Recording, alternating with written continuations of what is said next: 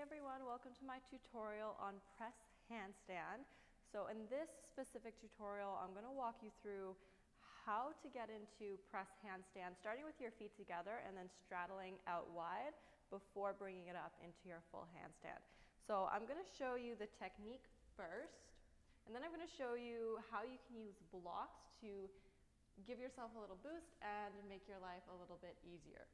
Okay, so when you start with your feet together and then cut your legs out wide into a straddle press, it's easier than starting in the traditional version of straddle press with your legs further apart just because you can get your hips up a little higher. So I recommend that if you're just starting your pressing up to handstand journey, start with your feet together, work that, and then start to take your feet a little bit wider.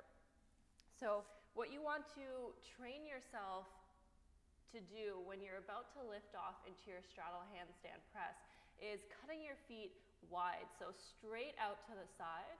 The more you can pull your legs out to the sides and also towards the direction of your head will help you pull your, your center of gravity in towards you more, making it easier to lift. Okay, so you'll set yourself up in a forward fold position with your hands maybe about a ruler's distance away from toes and wrists. Okay, hand shoulder distance apart, just like your handstand.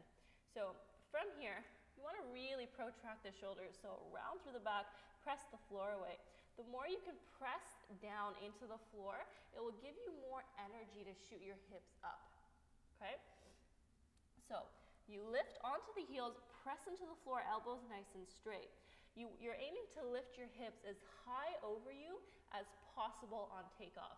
Because the higher you can lift your hips, right away, the easier it will be and the less strength you'll need to lift up into your full handstand. Okay? So set yourself up here, lifting the heels, rounding through the back. Now, once you lift your hips, then you need to lean forwards because you want to shift your hips over top of your wrists. Okay, so depending on the level of your flexibility, you might have to lean more or less.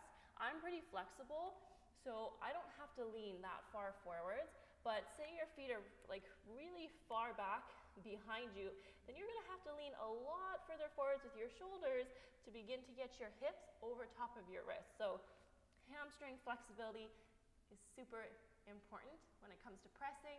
It'll make your life like 10 times easier. Okay, so again, set yourself up, press into the floor, floor around the back, lift the hips. Lean forwards, lean, lean, lean cut the feet wide. Okay? That's the first action you need to think about. Pressing down, feet wide. When you kick the feet wide, then you start to lift your hips. Okay? And this is, of course, the hard part. Okay? So press down, lean, cut, hips. Okay? Then from there, you can take it into whatever version of your handstand you want.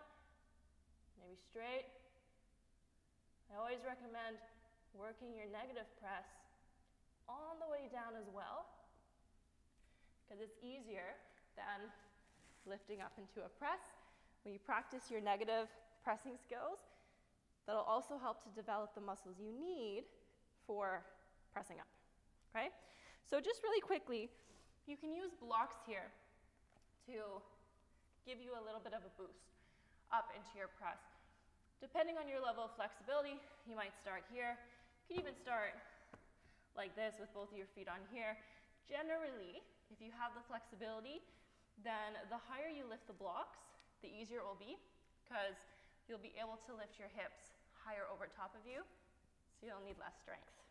Okay? I'm going to show you this way. Okay, so you'll step on top of the blocks, same starting position. Fold forwards, okay? You can see now my hips are higher because my feet are higher. Press, same idea lean, cut, lift, work your negative. Okay? So start there if you're working on your two-legged press. If you have any questions, drop them in the comments or shoot me a DM. Thank you so much for tuning in.